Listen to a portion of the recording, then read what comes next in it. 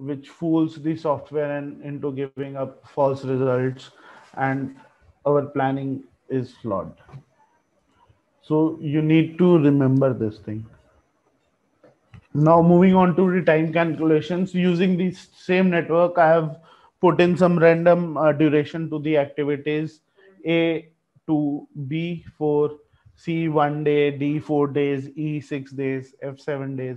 We'll be assigning uh, normally these uh, time calculations. So uh, rule number one, step number one is numbering the events. Here, foot rule method of uh, Fulkerson's rule we need to follow, which states we start off the numbering of events from left and from top to bottom, which means the event on the left hand side would be one. And as we move along, see if there are two events falling in the uh, on the same axis, then the uh, number or the event which is higher along the y-axis will have a least number and the one event one uh, event which is having a lower y coordinate will be getting the greater number so uh, we have correspondingly uh, numbered our events. That is a starts with 1 and ends at 2 b starts at 2 and ends at 3 similarly c starts at 2 ends at 5 D starts at 3 and Z4 similarly goes on up to 10. Next step is finding the path from start to end. In this setup, uh, try to find out the paths. I have lined up uh, the same for you in the next slide.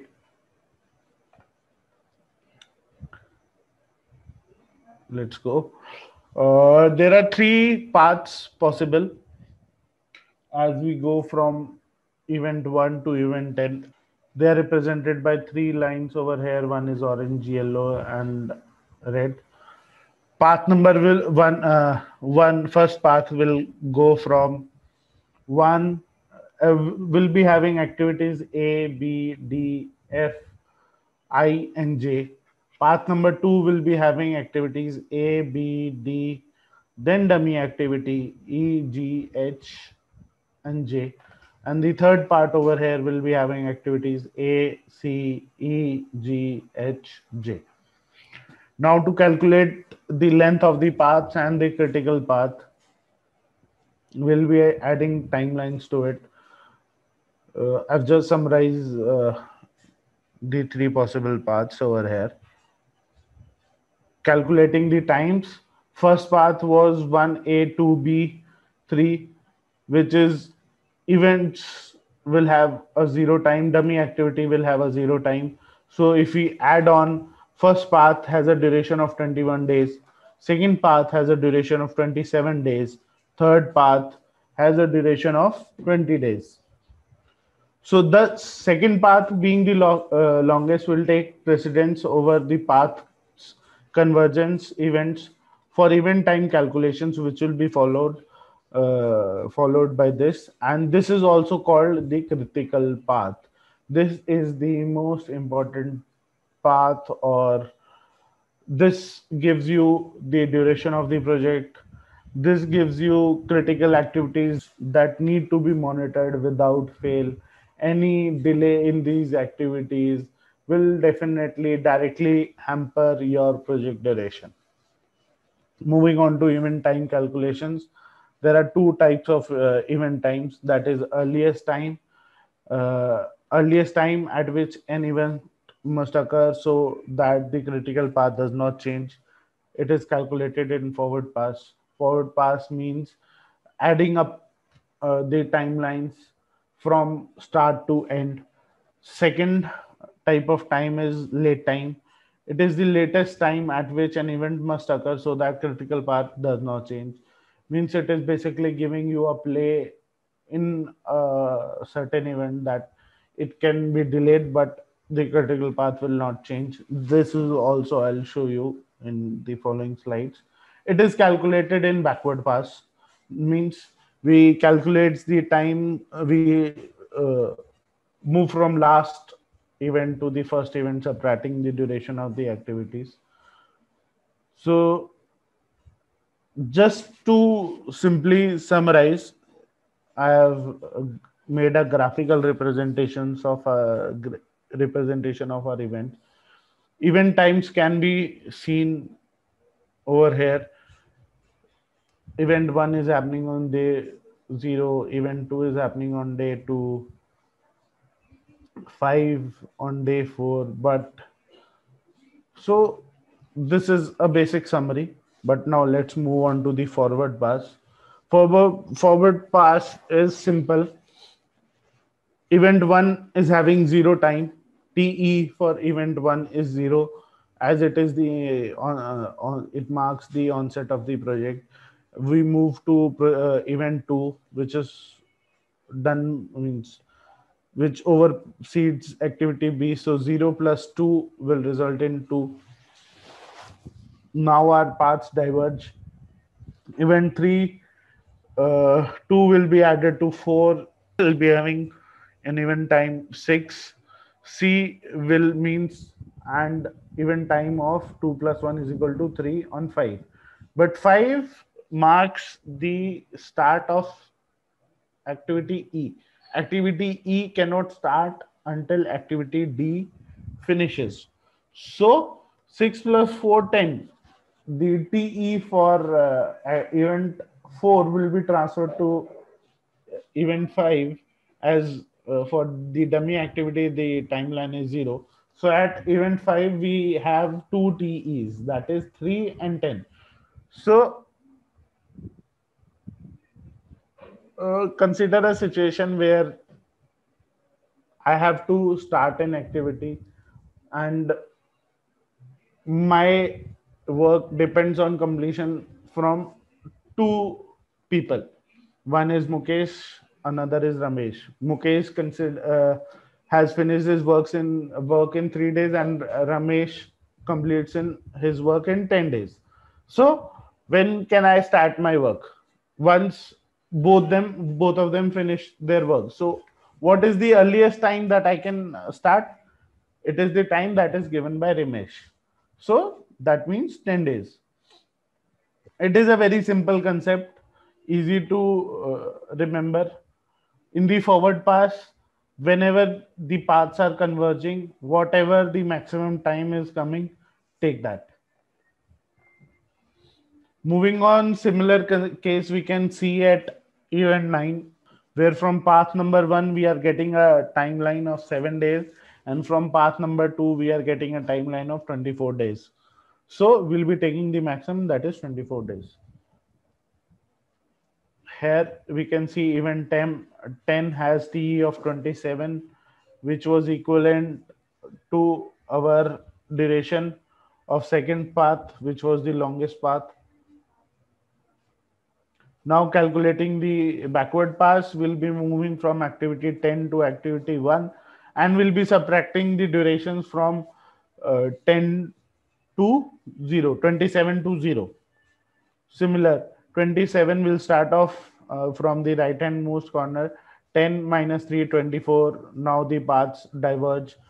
24 minus 7 would give you 17, 24 minus 2 will give you 22 17 minus 1 similarly when you come on d you'll be having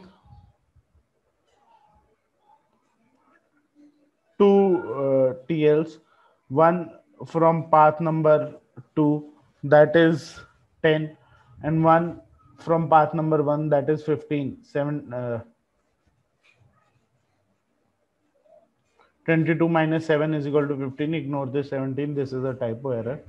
So in the backward pass we have to choose the minimum of the two values that is 10 now this is a simple representation of event times. You can see over here uh, in the black in the corner uh, i have given you a simple uh, layout of what means what. Time written over the event is earliest time, the one written below is the lowest time. Similarly, uh, we were discussing TL, the latest time when a activity can start without delaying the project. So over here, you can see at uh, event can occur without delaying the project. There is a difference between, sorry, TL and TI of event six. That is, TE is 17 and TL is 22. That means there is a delay, play of five days in which uh, in happening of event 6 which means even if we uh, change the duration or uh, happening from 17 to 22 the complete path duration will not change. This is a separate activity that you can do and try it on. I have summarized the same for you. The difference of all the events falling on critical path is zero difference of uh, all the TE and TL for all the all the events falling on critical path is zero. Now moving on to activity time calculations. There are four types of activity. First is early start. It indicates the earliest date at which an activity can possibly start based on its predecessors and successors. It is also calculated. It is similar to your uh, TE. It is calculated in your forward pass. Early start is equal to early, uh, early start can simply be considered equal to early finish of the predecessor activity. Now, what is early finish? Represent the earliest date uh, an activity can possibly finish of all the predecessor and successor also finish on their respective early finish dates. It is also calculated in forward pass. Early finishing equal to early start of the activity plus duration of that activity. Now, uh, next is late start. It represents the latest time at which an activity can start without affecting the planned project finish date. That is without increasing the duration of the critical path or changing the critical path. It is calculated in backward pass. Late start is equal to late finish of the successor activities less activity duration. Late finish indicates the recent date an activity can finish without extending the finish of the project. It is also calculated in backward pass. Late start, okay. Uh, now I have summarized uh, all the activity times for you. I have uh, taken the example uh, from I have continued from the pre previous example.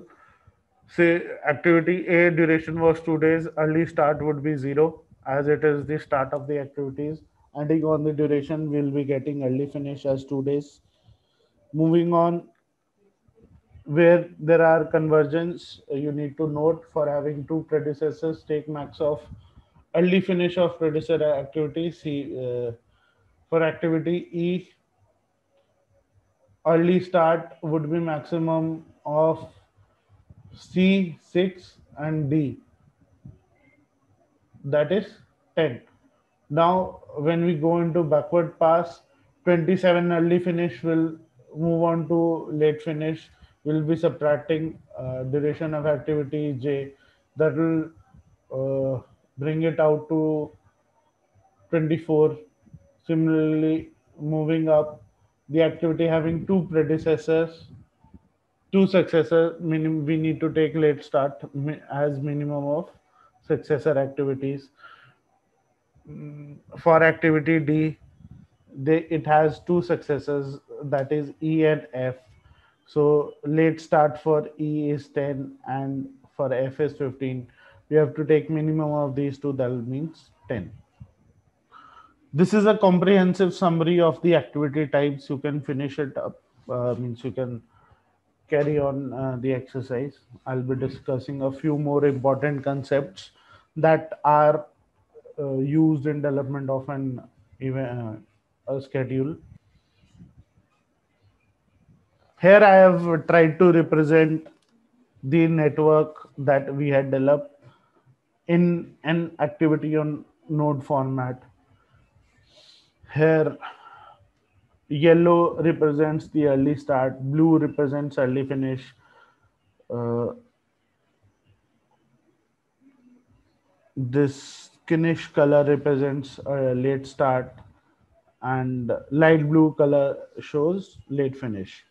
The number in the green is the duration of the activity.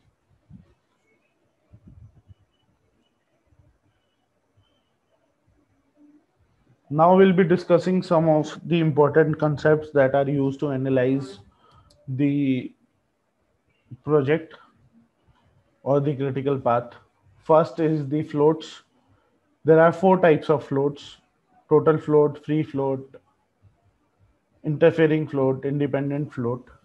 So total float is the duration by which an activity can be delayed without increasing project duration it can be calculated in two parts. First is total float for an activity and second is total float for a path. Total float for a path is calculated simply by duration, uh, subtracting the duration of the path from the duration of critical path.